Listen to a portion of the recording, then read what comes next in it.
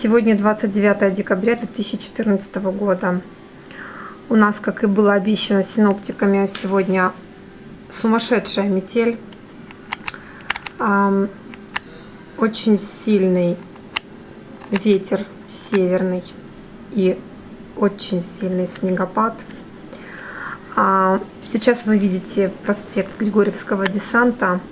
Это главный проспект, по которому въезжают в Южный наши жители и гости. Скажем так, главная вена, которая ведет от якоря и пересекает весь наш небольшой городок. А для города Южного снегопады и метели перед Новым годом это диковинка. У нас обычно их не бывает, но этот год стал явным исключением. Я пытаюсь отбалансироваться, чтобы вам было видно. Вот сейчас небольшой трактор. Скорее всего, это МЖКЦ наша ну, в системе УЖКХ, так сказать, пытается каким-то образом сегодня работать. Я думаю, что для наших коммунальщиков сегодняшний день будет самым сложным за последнее время, несмотря на то, что у нас уже был в субботу снег, но такого не было точно. Сегодняшняя метель – это гораздо более глобальная события по масштабам. Вот сейчас мы видим небольшую пробку из э, семи где-то автомобилей. Подъезжает э, служба пожарной нашей охраны. Уже едут на какой-то объект. Но пока что лично я не знаю, какова ситуация у нас в городе по части каких-то чрезвычайных ситуаций во дворах в наших микрорайонах на наших дорожках, дорогах. Но я знаю, что наши журналисты сейчас собирают информацию, и вечером у нас будет большой прямой эфир, посвященный ситуации на дорогах. А также в 3 часа дня я планирую поехать с представителями наших коммунальных служб по нашим улицам, чтобы проверить, какова ситуация на дорогах. Вот мы видим, как наша пожарная охрана все-таки смогла вырулить и выехать на проспект Григорьевского десанта, и куда-то направляется этот автомобиль.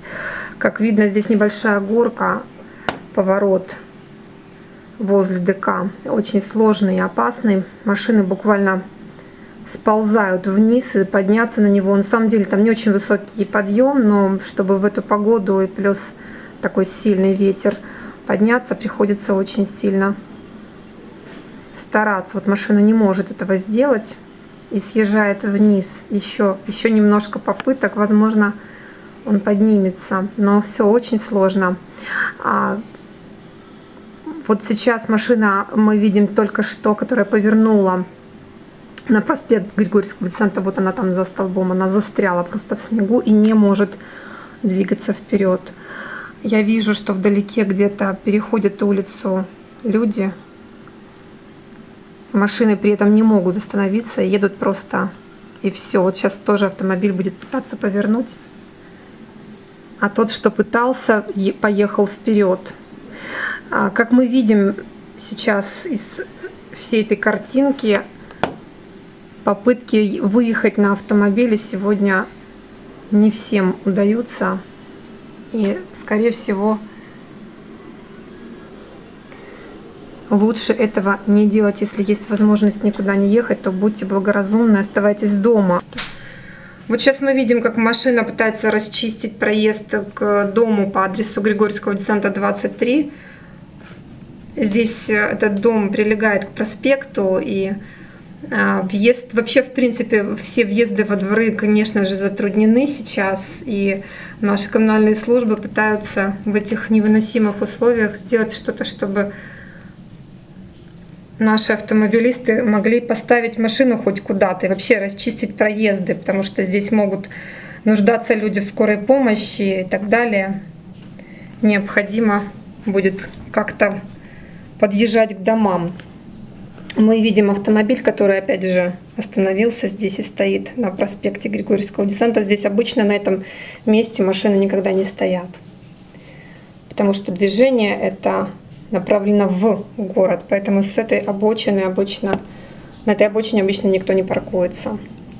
Но сейчас ситуация другая, поэтому все что угодно может быть. Мы пытаемся, мы сейчас видим, как машина пытается тоже вот Лада, насколько я понимаю, пытается проехать по проспекту, но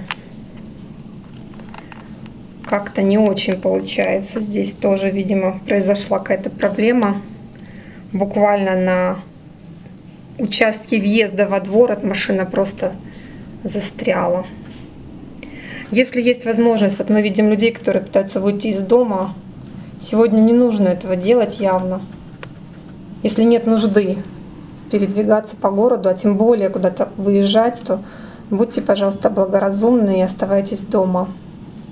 Особенно не оставляйте без присмотра детей.